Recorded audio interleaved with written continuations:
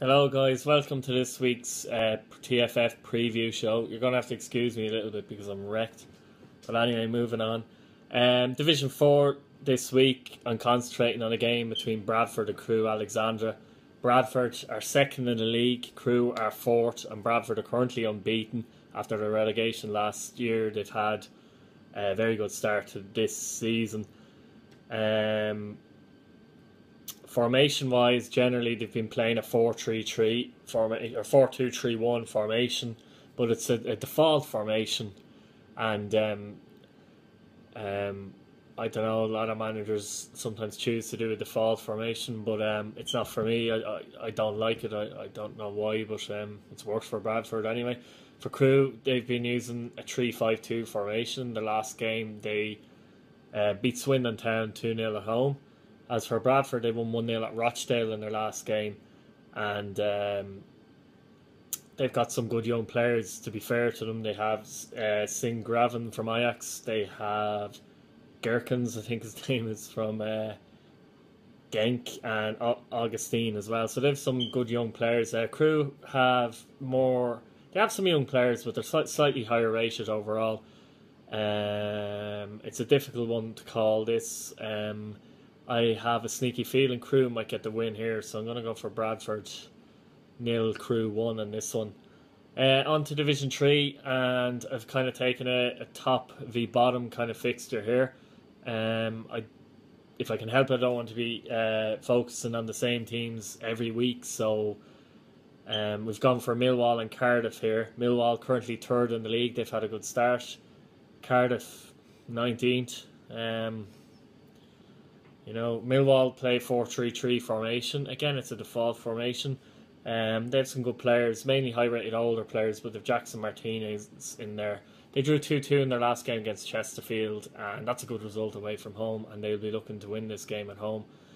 Cardiff are 19th, as I said. They do have some talented players. They have Sheik from Roma, uh, a young player who looks like a talent. Uh, in fairness to Cardiff, in the last game they were beaten 1 0 at home to a good Bolton team, a Bolton team who I think will definitely get a playoff place. Uh, that's M&S uh, coffee, by the way, or tea, by the way, Paul, if you're watching. Um, and Cardiff, they play 4 2 3 1 formation. Again, it's it's the A actually, so that's the wider formation. And um, again, it's the fault, but um, to be honest, Cardiff need to sort their shit out. I mean, they're 19th in the league. They're, they're a fairly big club. In real life, they've just been promoted to the Premiership. In TFF, they start off in Division 2. They struggled last year in Division 3. They're near the bottom of Division 3 again at the moment. And if they don't sort out their shit, they're heading for Division 4. Um, it's ridiculous, really. A team like Cardiff and the potential there and decent stadium as well. In good hands, I think they could do very well. But um, I don't know. Someone needs to be more active there. I think that's the issue.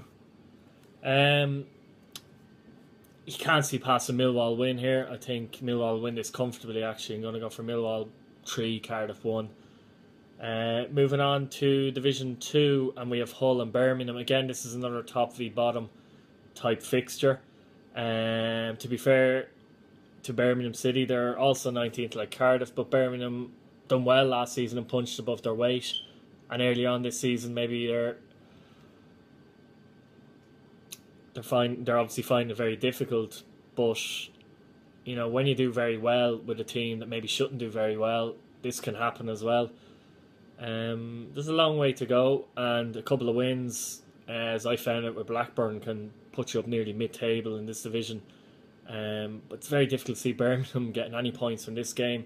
Hull are flying 4 2 3 1 attacking type formation. They're second in the league, but they're unbeaten. And in their last cup game, for example, they played the reserves, strong reserves now, but they did win 6 1 against Bury. It's no mean feat. They've players like Marco Reus, Mertens, and company in their ranks, and that's.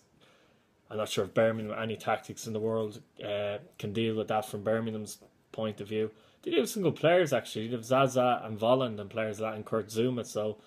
Um, uh, they were hammered 3 0 at home to Swansea in the last game. In fairness, Swansea are doing very well. Uh, I wouldn't mind that too much, but um, they've been playing a 5 4 1 formation.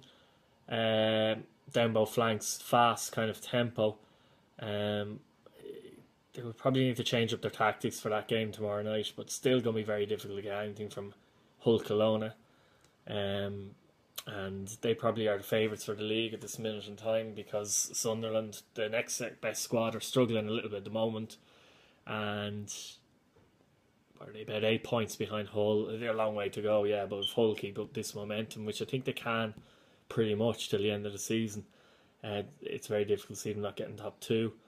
Uh, Hull have to win this one and rather comfortably again. I'm going to go for Hull three, Birmingham City one, uh, and Birmingham probably have to wait a little bit longer um, for their first win of the season. They've only one point so far. Division one, uh, it was hard to ignore this uh, massive game between Arsenal and Manchester United. It's massive because we're five games into the season and Chelsea have uh, 15 points. Um, so Arsenal are in, I think they're seventh in the league. Manchester United eleventh. Stephen has only come in at Manchester United.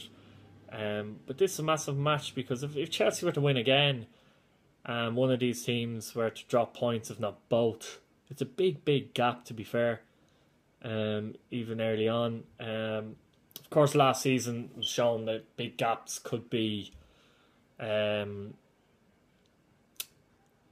could be caught up on it, basically. But maybe the difference is that Chelsea are the champions and they've um, they did very well last season. They're very consistent. They've carried that on. It's hard to see them having a massive dip. Every team can have a dip, but if they were say 12, 15 points ahead uh, later on in the season, it'd be very, very difficult um, to see them being caught. To be honest, like I, I couldn't see them going two wins and ten scenario. Um, this particular game, Arsenal have a better side, better squad. Messi, Neymar, Cruz, De Bruyne, just to name a few. Um, Manchester United, obviously, Busquets, De Gea, Verratti, and players of like that. They're very good squad as well, to be fair. Um, both played 4 3 3 in their last league games, uh, attacking formations.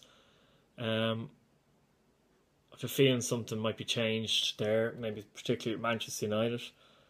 Um, Arsenal have been in good form. They did draw, draw one all the way to Everton um, in their last league game, but Everton have been doing very well.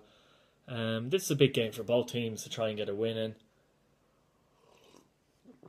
And um, I have a sneaky suspicion that Manchester United are going to pinch this one, maybe uh, 2 1. Um, and hopefully they'll be hoping to move up the table and look for a top four uh, place. Um, at the moment in Division One, it looks like it'd be very difficult to catch Chelsea. You never know what could happen, but um, you know teams like Liverpool are struggling a little bit at the moment as well. So it's um it's it's Man City as well. They've been up and down, so it's a difficult one. Um, but that's about it uh, this week, guys. Um, it's a bit later than usual, but I've been fairly busy, so um, hopefully be earlier uh, next week. Um, best of luck to everyone with their games this Thursday. Uh, that's it, pretty much. Thank you very much. See you later.